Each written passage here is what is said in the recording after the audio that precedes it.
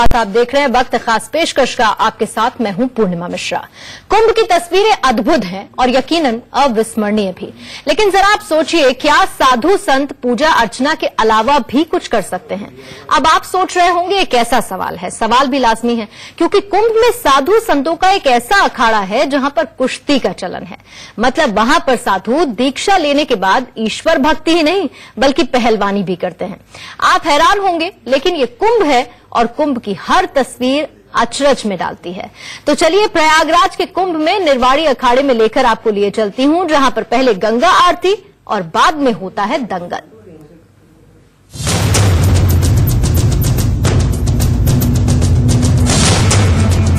आस्था के कुंभ में संतों का दंगल।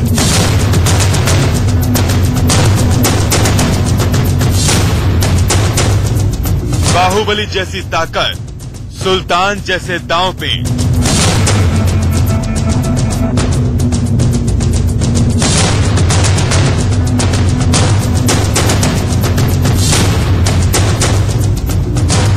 पहले गंगा आरती फिर पटकनी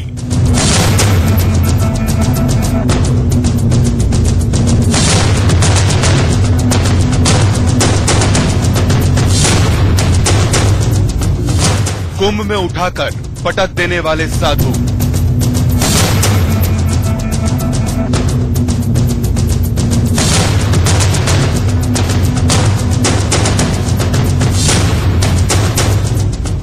कुंभ आस्था की डुबकी के लिए जाना जाता है। प्रयाग में गंगा यमुना की शीतलता और सूरज की गुनगुनी धूप है।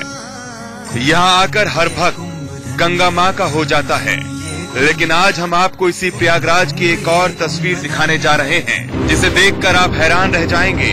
जी हाँ। पूजा अर्चना करने वाले साधु संतों का वो रूप, जो आपने पहले कभी देखा या सुना नहीं होगा। जो पूजा पाठ से पहले और बाद में अपना बचा हुआ समय कुश्ती के अभ्यास में बिताते हैं। कड़ाके की ठंड में आम लोग जहाँ ठंड से बचने के लिए शरण ढूंढते हैं। वहीं महानिर्वाणी अखाड़े के पहलवान उन्हीं सर्द हवाओं में सुबह सवेरे उठकर लंगोट धारण कर पसीने से तरबतर होकर कुश्ती का अभ्यास करते हैं।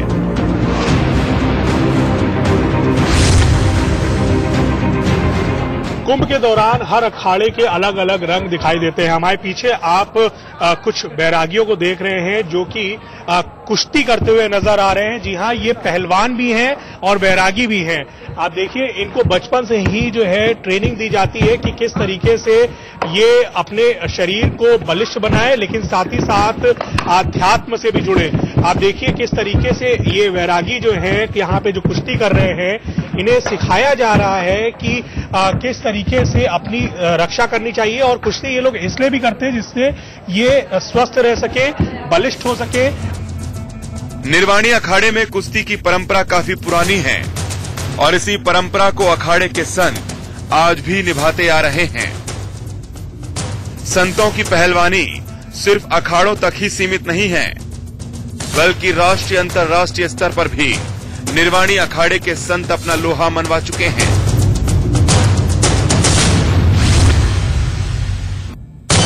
ये हमारे यहाँ की परंपरा बहुत पहले से चली आई पूर्वजों से।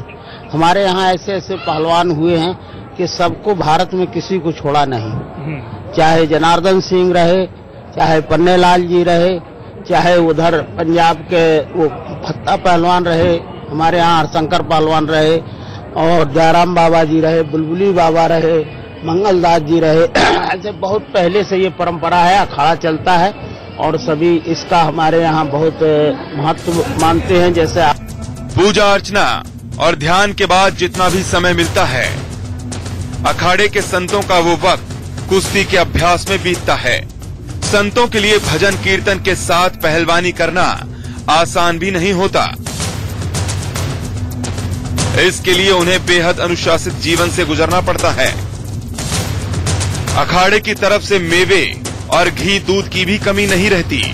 महानिर्वाणी अखाड़े के महंत और राम जन्मभूमि न्यास ट्रस्ट के अध्यक्ष महंत धर्मदास जी के मुताबिक, पहलवानों को तैयार करने में आने वाला खर्च अखाड़ा परिषद उठाता है। पहलवानों की व्यवस्था के लिए अलग से अखाड़े में सेवक रखे गए हैं। पहलवानों को कुश्ती करने के लिए अखाड़ा परिसर में ही मैदान बनाया गया है, जहाँ पहलवान दिन रात पसीना बहाते हैं।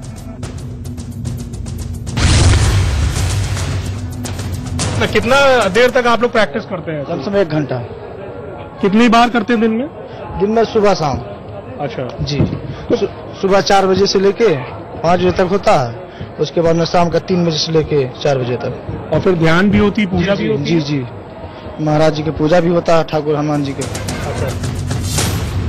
महानिर्वाणी अखाड़े में बजरंग बली को इष्ट देव माना जाता है। अखाड़े की ओर से विशेष तौर पर पहलवान तैयार किए जाते हैं। इसी तर्ज पर कुंभ में अखाड़ा अपने पहलवानों को लेकर पहुँचा है। पहलवानों को देखने के लिए महानिर्वाणी अखाड़े में लोगों की भीड़ लगी है।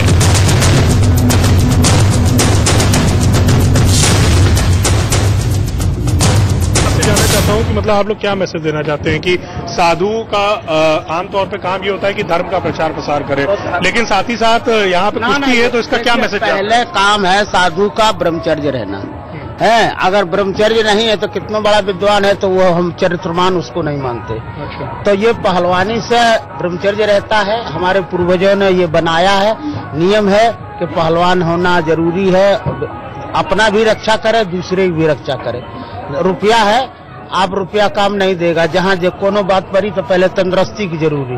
पहले सुख जो निर्मल काया दूजो सुख जो घर में माया तीजो सुख कुलवंत नारी चौथा सुख सुज्ञाकारी पांचवा सुख मित्र पड़ोसी अच्छा होना चाहिए। इससे ये हमारे यहाँ हनुमान चालीसा में लिखा कि बल बुद्ध विद्या देव हाँ तो जब बल है तभी दूसरे का कले सर सकते हो गिरे को उठा सकते हो। ये कुछ सामान है कोई भी काम है। अगर बल नहीं है तो बेकार है। ठीक है तो जैसा इन्होंने बताया बल बुद्धि विद्या दो मोह हरु के शिकार। जो कि खुद हनुमान चालीसा में लिखा हुआ है और उसी को एक तरीके से अपने जीवन शैली में पालन करते हुए यहाँ पे आने वाला हर एक सन्यासी या बैरागी जो है वो इसको कंठस्थ करता है। अब तक ये माना जाता था कि साधु संतों का जीवन सिर्फ़ भगवान के भजन पूजन में ही बीतता है। लेकिन महानिर्वाणी अखाड़े के संतों के इन दाव पेचों को देखकर ये भ्रम भी टूट गया है। वर्णित गुप्ता प्रयागराज इंडिया न्यूज़ सिंगस्त कुंभ और अर्ध कुंभ में अखाड़ों का खास महत्व होता है लेकिन ये अखाड़े हैं क्या? इनकी परंपरा क्या है? इन सब के पीछे बहुत ही महत्वपूर्ण इतिहास भी है और अखाड़ा परंपरा को समझना बहुत ज़रूरी है। तो आइए जानते हैं कि आखिर ये अखाड़े हैं क्या? कुंभ कुंभ ये कुंभ कुंभ है कुंभ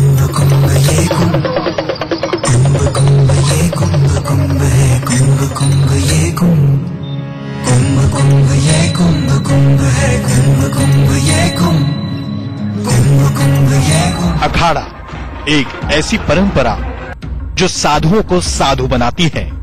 उन्हें एक प्राचीन परंपरा का हिस्सा बनाती है, जिसकी धर्म ध्वजा के नीचे ये साधु कुंभ पहुँचते हैं। और अखाड़ा परंपरा के मुताबिक ही यह तय होता है कि कौन कब संगम के पवित्र जल में स्नान कर पुण्य का भागी बनेगा। कुंभ कुंभ कुंभ कुंभ कुंभ कुंभ ये कुंभ। कुंभ कुंभ ये कुंभ कुंभ कुंभ कुंभ ये कुंभ। देश में करोड़ों साधु हैं। कुंभ में जिधर आप देखेंगे वहीं एक साधु नज़र आएगा।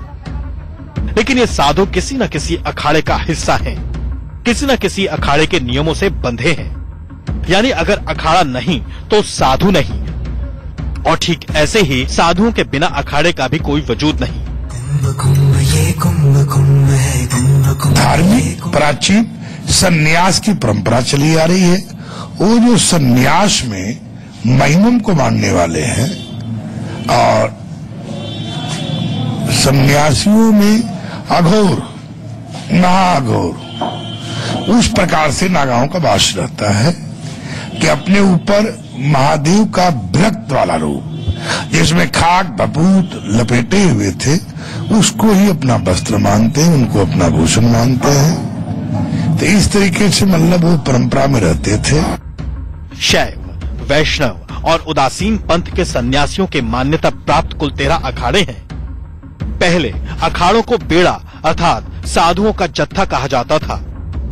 अखाड़ा शब्द का चलन मुगल काल से ही शुरू हुआ।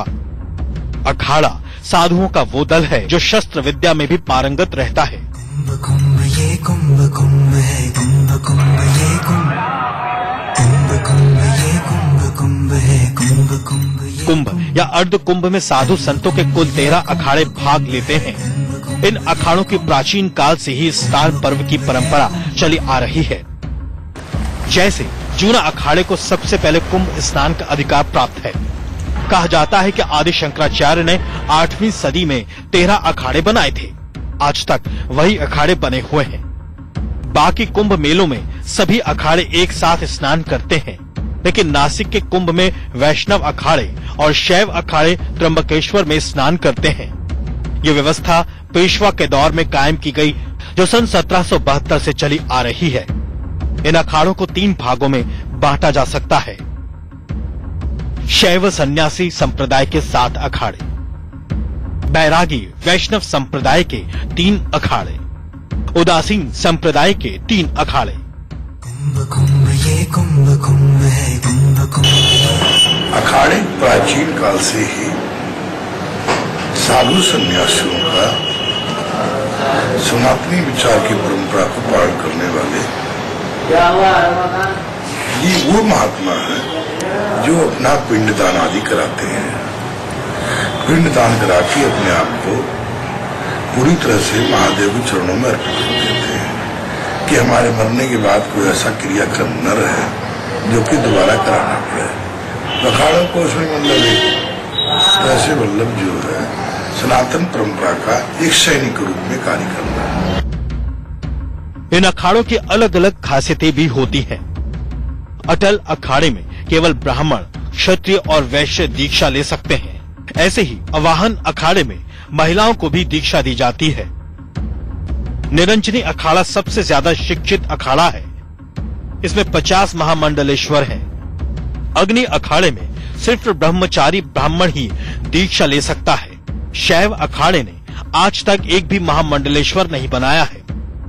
दिगंबर अखाड़े में सबसे ज़्यादा सिख हैं। निर्वाणी अखाड़े में कुश्ती का चलन है और इसके कई साधु प्रोफेशनल पहलवान भी रह चुके हैं। नया उदासीन अखाड़ा इसमें सिर्फ़ 8 से 12 साल के बच्चों को ही नागा बनाया जाता है। और निर्मल अखाड़े की खासियत यह है कि इसमें बाकी अखाड़ों की तरह धूम्रपान की इजाज़त नहीं है। यानी अखाड़ों की यह परंपरा अद्भुत है और विश्वसनीय है और अकल्पनीय है। अखाड़ों की दुनिया एक ऐसा रहस्य है, जिनसे आम लोग भले ही अनजान हो, लेकिन इसके अपने नियम कायदे हैं। अपना अनकहा संविधान है, जिनका पालन हर साधु बड़ी गंभीरता से करता है।